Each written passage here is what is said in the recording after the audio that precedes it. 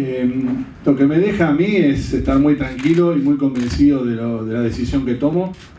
porque creo seguir respetando los principios y los valores que siempre me inculcaron en el rugby en mi familia.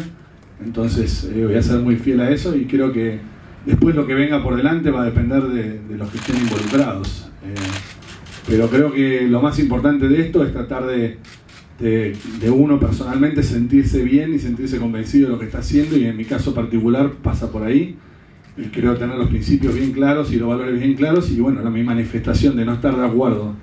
con este tipo de situaciones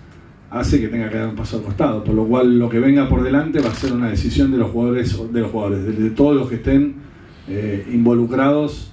en, en lo que venga y en el caso mío no estoy de acuerdo a la manera que se manejaron las cosas o la manera que se manifestaron las cosas, por lo cual no voy a estar involucrado en el futuro.